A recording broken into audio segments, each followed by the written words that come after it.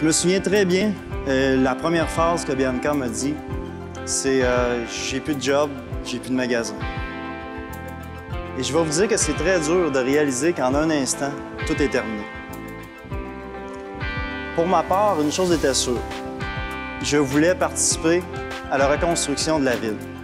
Vous savez, en région, nous avons de très beaux terrains de camping qui sont notre principale source d'hébergement.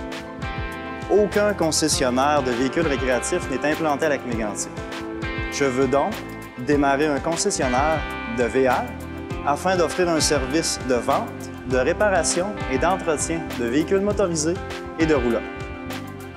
En ce sens, ma demande serait d'avoir de la part d'un fabricant un inventaire en consignation qui me permettrait de démarrer mon projet à court terme et à un prix raisonnable.